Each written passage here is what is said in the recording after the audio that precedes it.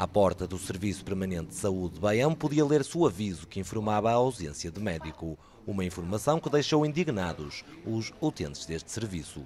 Está mal, está mal porque uma pessoa vinha por uma consulta e agora tem que ir para a Amarante ou para a Fiel para, para, para ser consultado. Estão andando aqui a rasca dos ossos, não sei o que é que se passa. E está mal, pronto. Eles só querem desconto, só querem que uma pessoa desconto para lá, mas não, não condições não, tem, não temos nenhumas.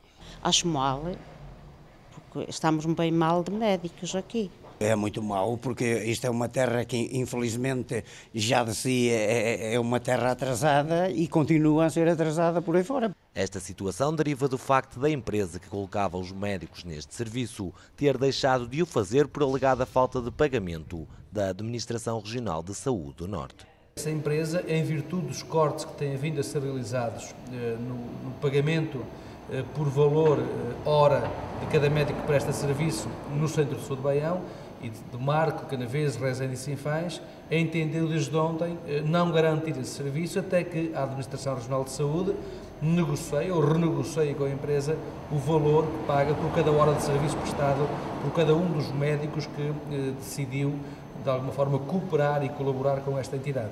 Contactada pelo Porto Canal, a ARS Norte confirmou que poderá ter havido um atraso no pagamento, mas que estão a trabalhar no sentido de resolver este problema o mais brevemente possível.